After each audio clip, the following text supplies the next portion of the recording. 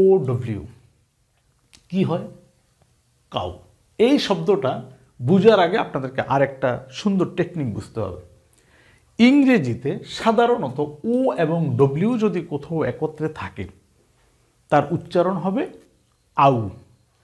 ও এবং ডব্লিউ একত্রে মিলে উচ্চারিত হবে আউ। এইবার তাহলে চিন্তা করেন, আমরা জানি সি এর ফোনেটিক সাউন্ড হচ্ছে ক। এখন সেই কয়ের সাথে এখানে এসে মিলছে কে? আউ তাহলে ক যোগ আউ, কি হয়ে গেছে? Cow. Okay C O W তাহলে আমরা কি উচ্চারণ করব? কাউ।